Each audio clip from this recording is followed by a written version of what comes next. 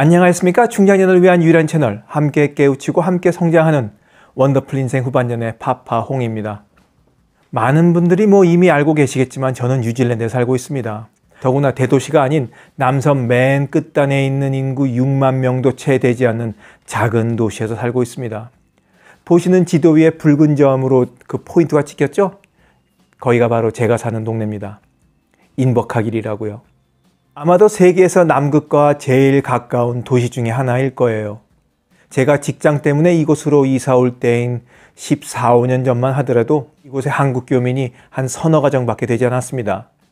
교민뿐만 아니라 중국, 일본을 포함한 동양인들이 거의 살지 않았어요. 그러다 보니 현지인들은 길에서 저를 만나면 신기해하겠을 정도니까 당연히 한국 식료품을 파는 곳도 없었습니다.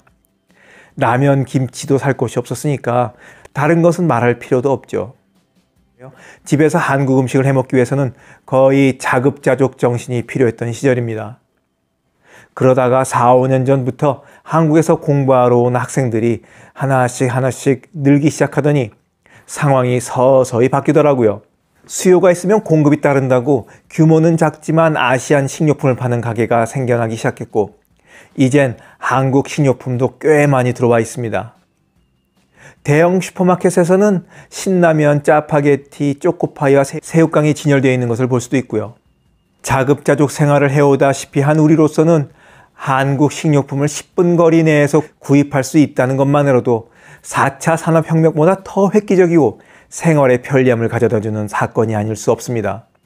더 이상 뭐 바랄 게 있겠냐, 뭐 이런 만족스러운 삶을 살고 있는데 작년 후반기에 또 하나의 놀라운 사건이 벌어집니다. 바로 시내에 있는 도서관에 한국 도서들이 들어오기 시작했어요. 보고 싶은 책을 주문하면 도서관에서 검토한 후에 책을 구입해 주거든요. 그래서 저도 한두 번 이용했던 적이 있는데 한국 책을 사달라고 해볼까 하는 생각은 전혀 상상조차 못 해봤는데 이번에 책이 들어온 거예요. 제가 왜 이렇게 사는 동네에 대해서 장광설을 오늘 늘어놓냐면 바로 오늘 주제가 도서관에서 빌려온 책에서 비롯되었기 때문입니다. 어제 읽기를 딱 마친 베르나르 베르베르가 쓴 장편 소설 죽음이 바로 그 책입니다.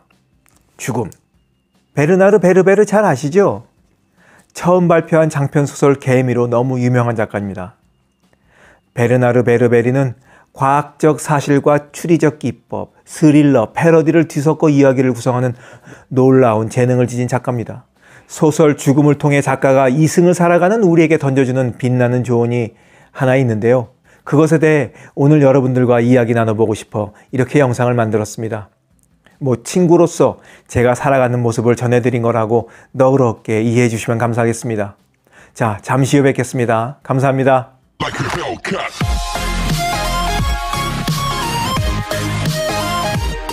소설 죽음은 누군가에게 살해된 인기 추리 소설 작가인 주인공이 저승에서 자기가 왜 살해되었는지 진실을 파헤치는 과정을 그린 소설입니다. 그런데 소설 말미에 저승에 가 있는 주인공이 인생에서 배운 것들에 대한 이야기를 하는 대목이 있는데 제게 많은 울림을 주었습니다. 그래서 준비했던 주제는 뒤로 미루고 오늘은 여러분들에게 이 이야기를 들려드려야겠다 생각했죠. 자, 그럼 오늘의 본론으로 들어가겠습니다. 죽음을 본 사람이 전하는 인생 조언.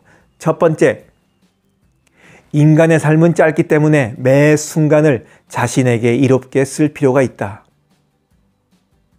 저의 인생 표어는 사랑하기만으로도 인생은 짧다. 세상에 화낼 일 하나 없다. 뭐 이겁니다. 두 개죠.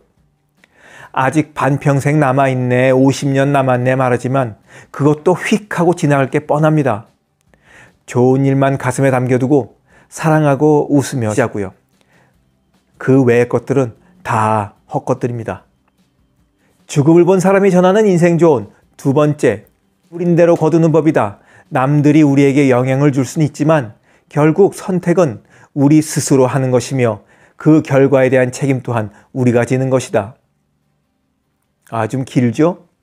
나이 들어서도 어렸을 적 부모 탓, 못되게 굴었던 형제 탓, 등쳐먹은 친구 탓, 무능력한 배우자 탓, 뭐 인생을 남 탓으로 허비하는 분들 많이 볼 수 있습니다.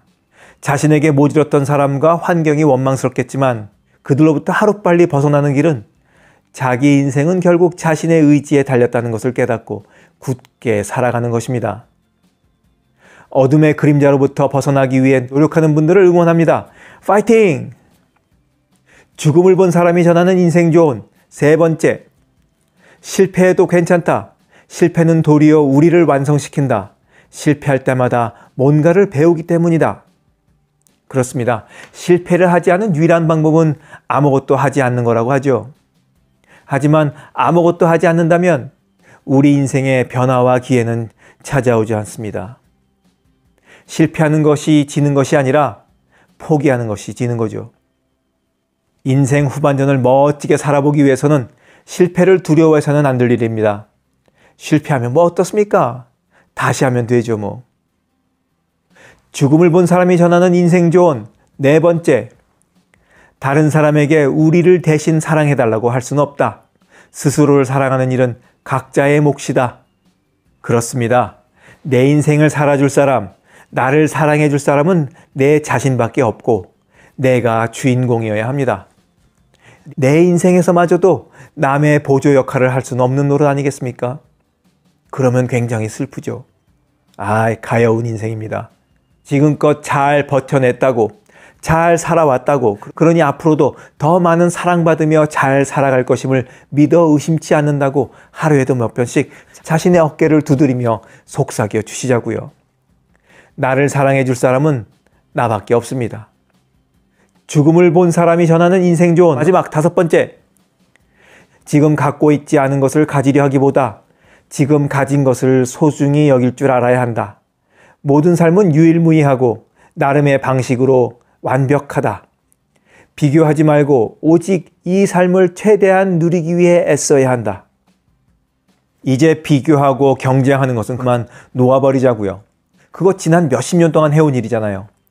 하나도 행복해지지도 않았고 저놈이 쓰러져야 내가 사는데 하는 쓸데없는 적개심만 불러일으키는 게 바로 비교하고 경쟁하는 겁니다. 제못에 겨워 사는 게 진짜 행복이지 않을까 싶습니다. 그러니 우리도 그렇게 살고 또 제못에 겨워 사는 친구 보면 격려하고 응원해 주시자고요.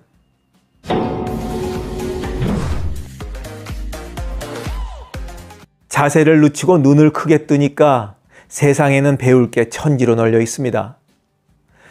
그래서 나이가 들면 잡초의 꽃 한 송이도 특별하게 느껴지는 거 아니겠어요? 영상을 보신 모든 분들의 일상 하나하나가 여러분들에게 행복을 불러오기를 바라면서 오늘 영상 마치도록 하겠습니다. 원더풀 인생 후반전의 후회 없는 인생은 계속됩니다. 감사합니다. 원더풀 인생 후반전을 계속 만나보고 싶으시다면 구독 부탁드리겠습니다. 감사합니다.